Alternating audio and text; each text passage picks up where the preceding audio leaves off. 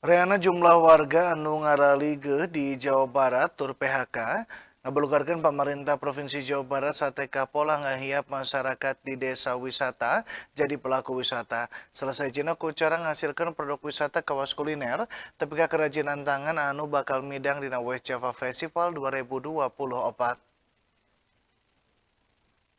Kepala Dinas Pariwisata dan Kebudayaan Jawa Barat Beni Bahtiar netelakeun ayeuna jumlah warga nu ngaraligeuh di sakuliah Jawa Barat ngahotal genep koma salapan persen tina jumlah panggagak Jawa Barat. Liantik itu ketak pemutusan hubungan kerja atau PHK anu niti 14.000 per Juli 2024 mengaruhan jumlahna anu tepi kasakitu. Eta hal teh ngarojong ketak nyiagakeun jeung lengan gawe di padesaan sangkan mampu ngurangan urbanisasi tur tangurangan pasualan di pakotaan. Kukituna pihakna sateka pola ngahangketkeun ekonomi lokal di padesaan keur masyarakat di sabudereun desa wisata jadi pelaku wisata lain ukur wisatawan.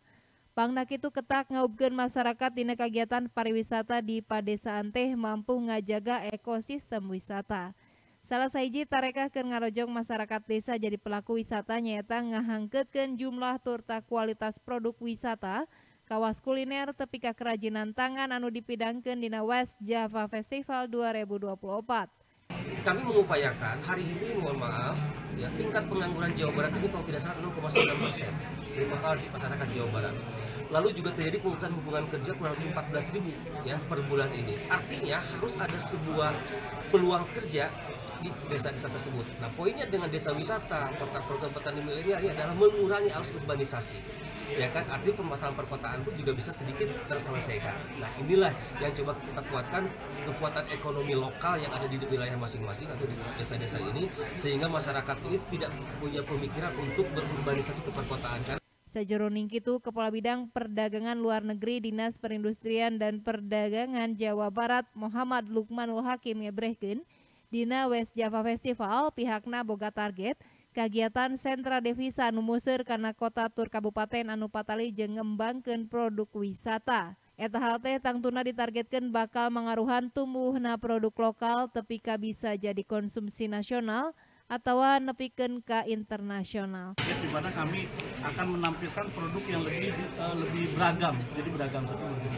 Uh, sesuai dengan arahan pimpinan kami bahwa juga dalam hal ini dalam pengembangan area-area pedesaan. Jadi uh, sesuai dengan strategi tidak pada tahun ini, uh, kita menargetkan tentang satu uh, kegiatan yang, yang namanya sentra devisa. Nah ini tentunya kegiatan-kegiatan akan tersentra di kota kabupaten seperti itu, akan ter uh, apa terfokus di kabupaten yang tentunya ini akan beririsan dengan area-area para wisata yang tentunya ini akan berdampak pada satu pengembangan produk-produk lokal yang nanti dikonsumsi oleh lokal dulu yang nanti ketika wisatawan sudah datang ini bisa menjadi konsumsi uh, nasional, domestik atau bahkan bisa menjadi uh, apa target internasional seperti itu. West Java Festival bakal dikolkolakeun dina tanggal 20 tilu tepika 24 Agustus 2024 di Sabuderen Gedong Sate Kota Bandung anu diwewegan kumang pirang kagiatan anu mampu ngaguar potensi Jawa Barat. Budi Hartati, Bandung TV.